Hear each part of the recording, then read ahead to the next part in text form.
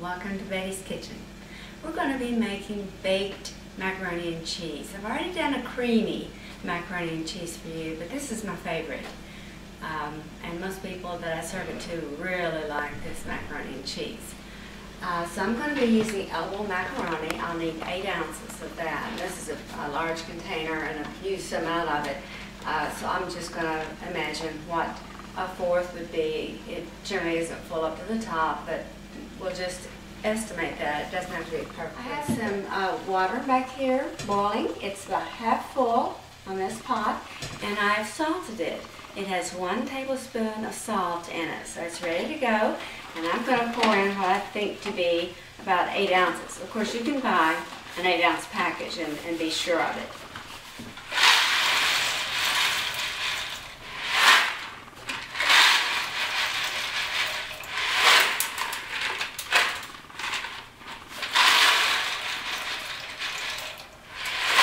That will come back up to a boil. Excuse me, I dropped a little bit here.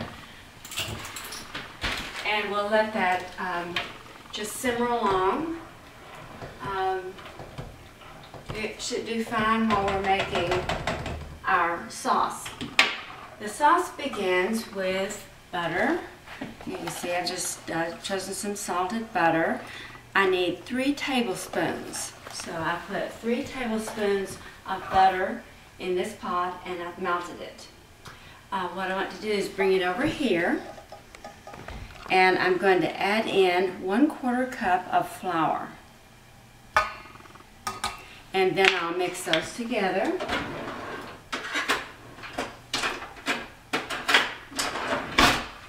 And you want to do this off the stove. Uh, if you start doing it over heat, it's going to cook in places and you don't want that to happen. You want it completely mixed together so it makes a nice roux, which is the base of any type of sauce or gravy. So we have that going.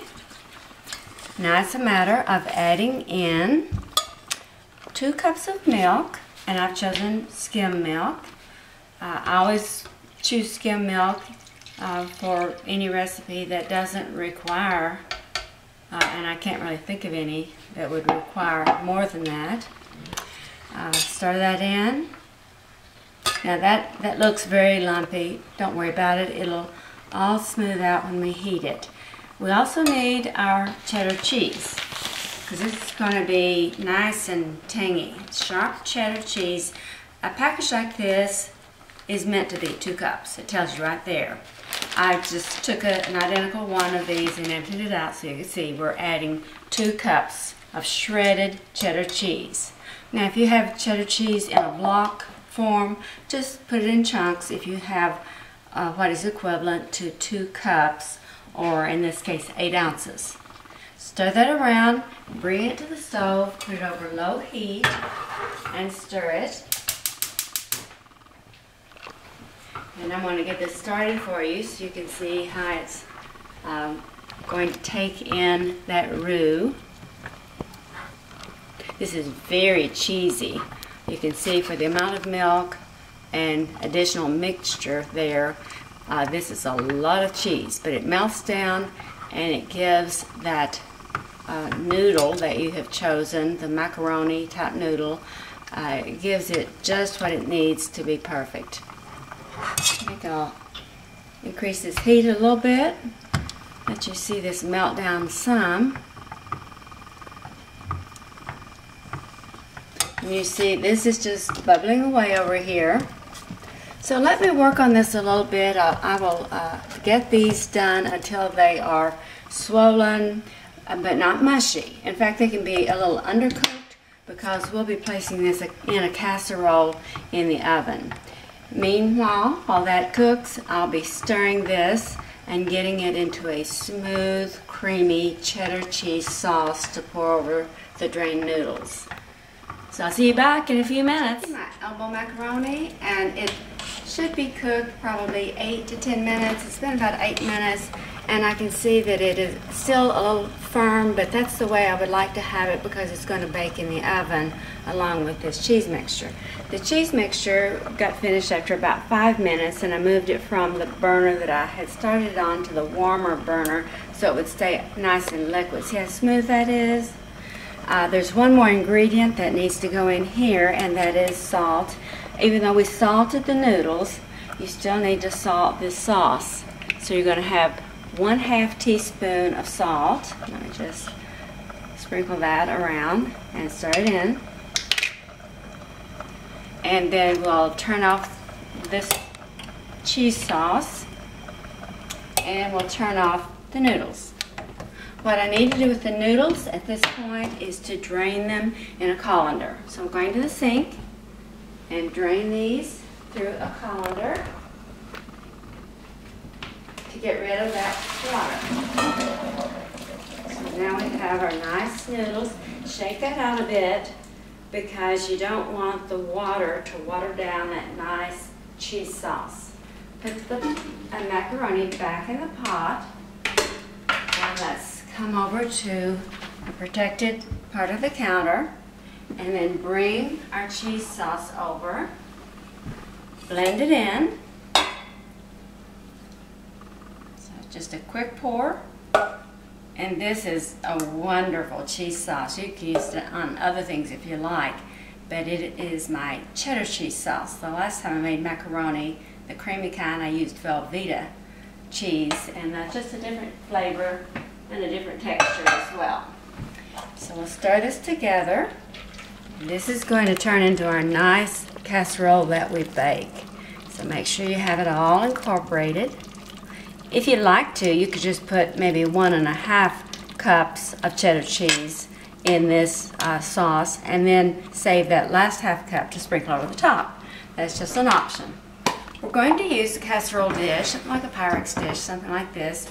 That's about 8 by 10. It doesn't really matter what size as long as it's not really thin. Uh, if you use a very large uh, pan, then it would spread out. Let's spray it with some cooking spray. I'm using canola oil. Doesn't really matter what you use, just some cooking spray so it won't stick.